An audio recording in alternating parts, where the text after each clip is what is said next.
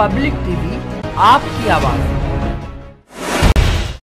भाजपा के राष्ट्रीय प्रवक्ता और पूर्व राज्यसभा सांसद ज़फ़र इस्लाम ने मीडिया से बात करते हुए अखिलेश यादव के द्वारा लखनऊ में किए गए मार्च को रोके जाने के सवाल पर बोलते हुए कहा कि मार्च करने का सभी को अधिकार है, लेकिन मार्च करने का जो तरीका होता है, वो बहुत ज़रूरी है।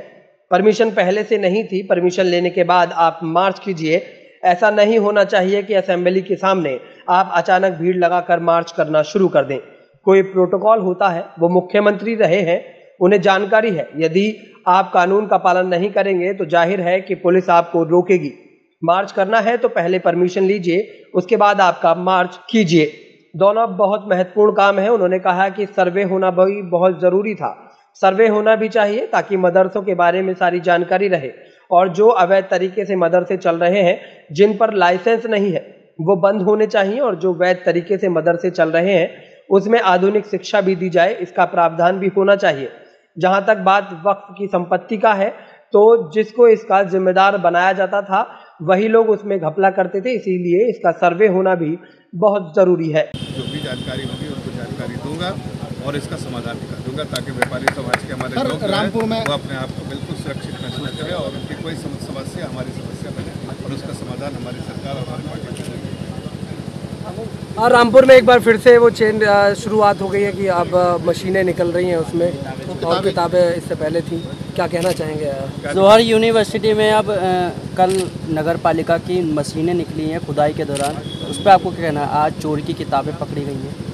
देखिए मैं उसकी ज़्यादा जानकारी मुझे लोकल इशू है। रामपुर का मुझे ज़्यादा जानकारी उसके बारे में नहीं है। लेकिन अगर जो है अगर एडमिनिस्ट्रेशन कुछ काम कर रहा है तो उसकी कुछ कुछ जानकारी होगी और उसके बेसिस पे काम सर एक सवाल ये है कि जैसा उत्तर प्रदेश सरकार ने मदरसों को सर्वे के लिए उत्तर किया था तो उस पर विपक्ष ने उठाए सवाल उठाए थे और अब वक्त की संपत्ति की सर्वे की बात आ रही है क्या?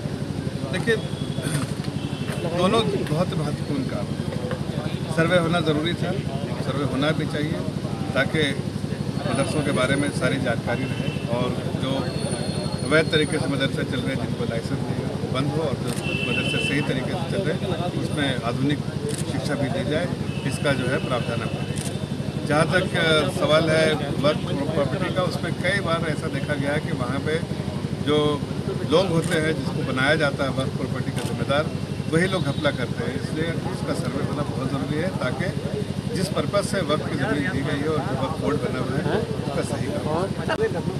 और उसमें सर पुलिस रोका गया और यहाँ के सांसद ने भी ये सवाल उठाया कि डॉक्टर किया जाए मार्च करने का अधिकार है। नहीं मार्च करने का सभी को अधिकार है। लेकिन मार्च करने का जो तरीका होता है वो तो ज़रूरी है। परमिशन पहले से लीजिए। परमिशन लेने के बाद आप मार्च कीजिए।